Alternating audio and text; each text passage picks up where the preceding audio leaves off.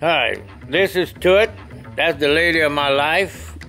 And she likes to go riding a boat and go fishing. Every now and then she falls in the water. And who are you? But I'm Jack M. Ray, better known as Skeeter, or they call me sometimes the Godfather of the Bayou. We try to own up to what we are and just enjoy life. Favorite thing for us to do around here is probably cook and shoot the bull. If we feel like doing it, we do it. If we don't feel like doing it, we don't do it.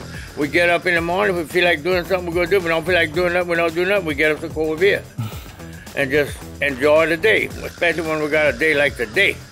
You know, but we try to work a little bit once in a while. Not often, but now and then we get something done. And what are we doing today, right now? Not too much. One hell of a glorious meal. If it got any better than this, the good Lord kept it for himself. He didn't give it to us. Thank you.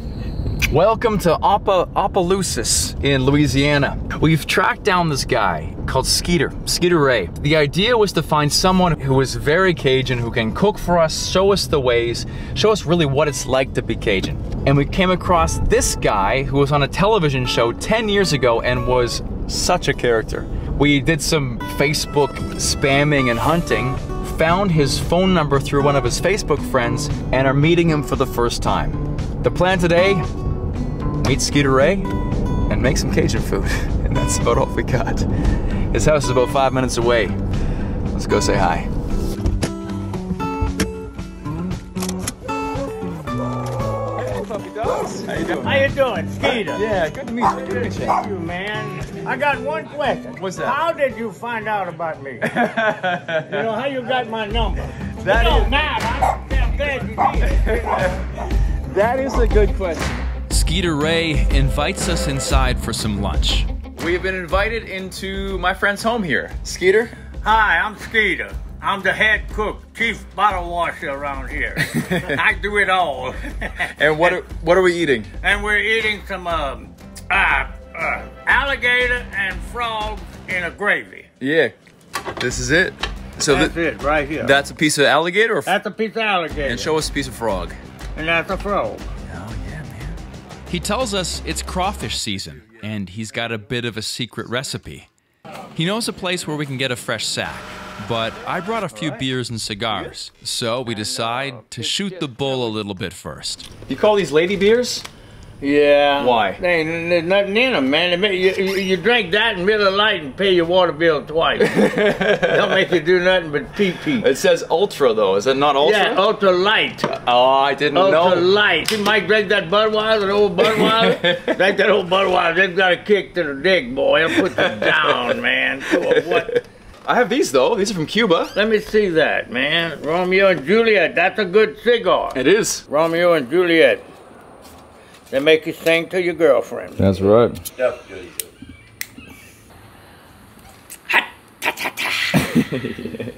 We head off in Skeeter's pickup truck to get us some crawfish. So one person can eat how many pounds of crawfish? Depends who it is. All right. How about how about me? You, you probably want to eat for two, three pounds. And how about you? Can sit down and fuck up about five, eight pounds. Look up I about want. five or eight pounds. You know, depends on if I boil them. Yeah, I can eat five, six pounds. of. All right.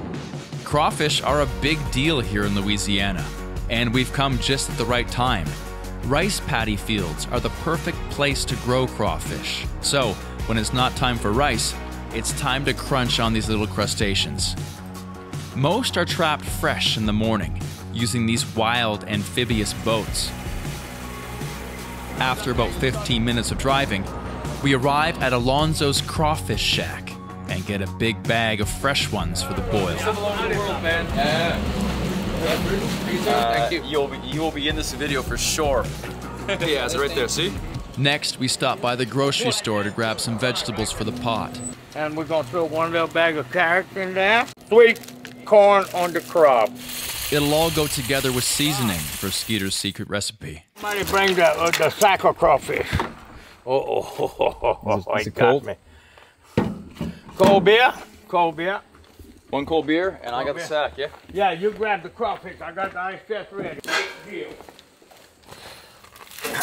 All right, little plan breakdown here. Uh, number one, get some more beer. because we're out. Number two, we're going to purge the crawfish. We're gonna put them in water for a little while first to kind of, you know, get the stuff moving out of them. Then we're gonna start boiling the vegetables because the vegetables take longer to cook than the crawfish do. And while those all simmer with the, the, the spices and everything, the crawfish will deplete themselves. We'll put it together and it'll be our feast. I like that. Good paws. Look at the size of them paws. Yeah, you can eat those claws, right? What? I imagine we do. That's a good one.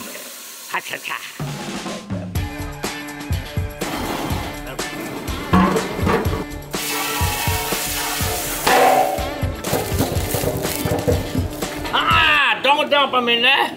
That's what you said, right? No, put them in there. Put everything in there. Ouch.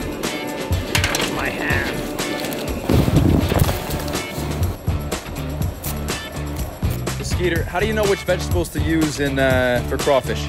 We've been doing it for years. What goes with it? You know what I'm saying. Don't do this home. This is done by a professional. You could cut yourself. We have we have been drinking though. Professionals don't have to be sober.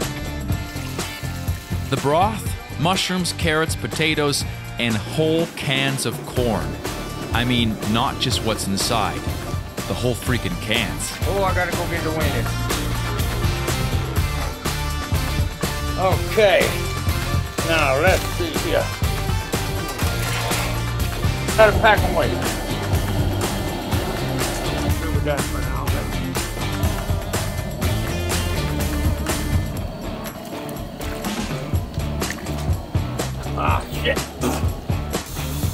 I believe we got it. We got it going on.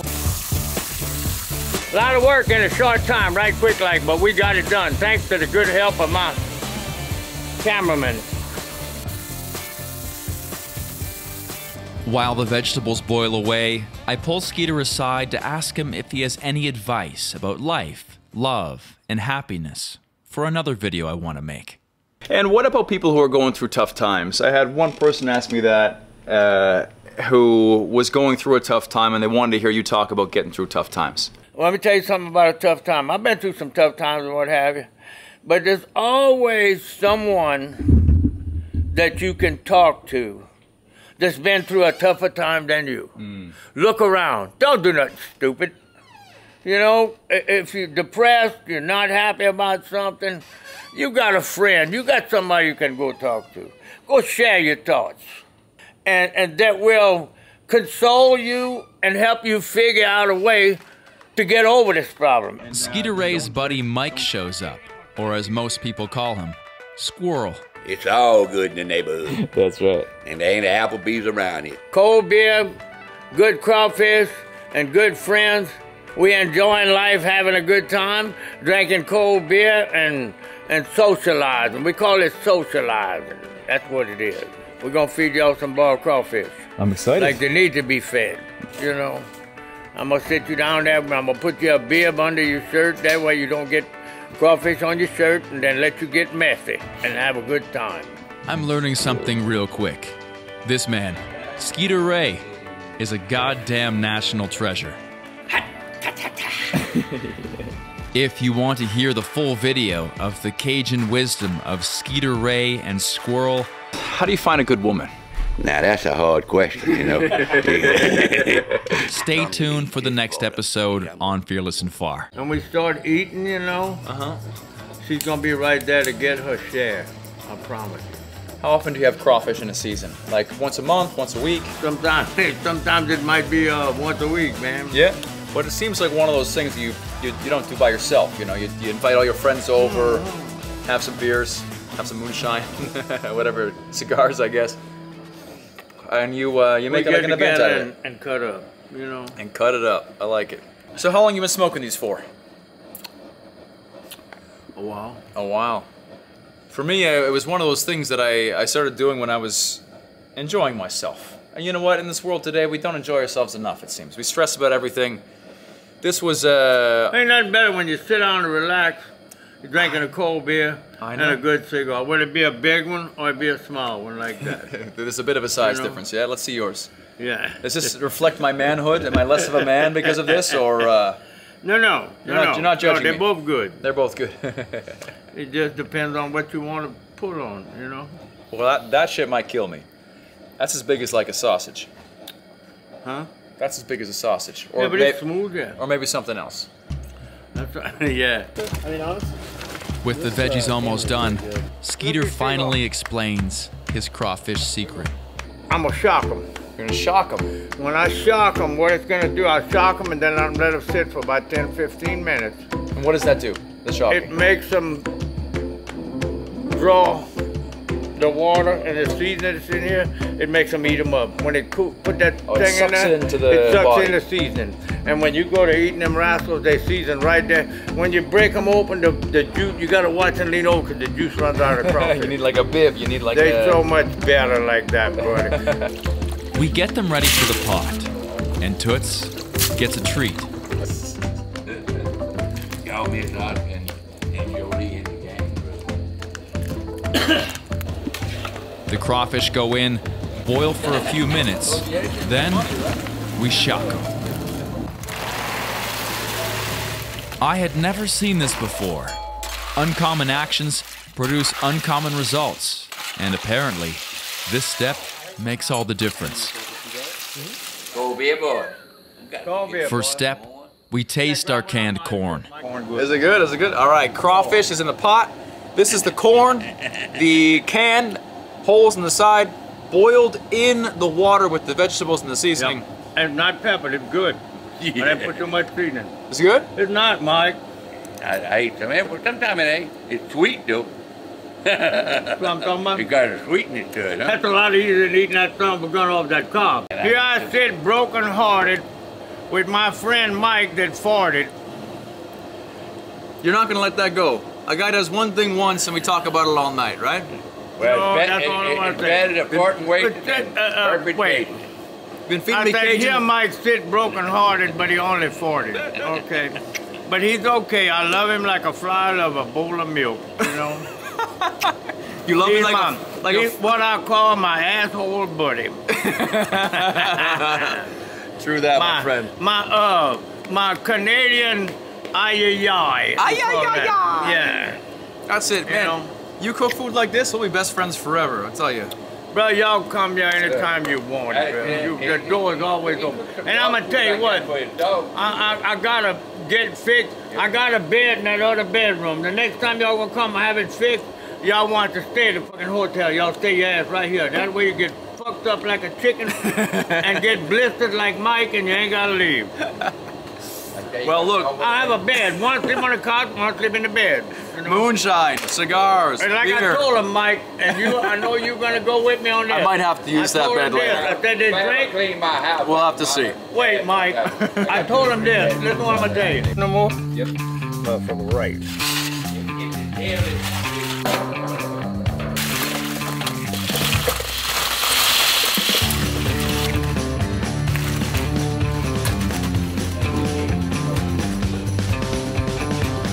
Let sit cool a little while.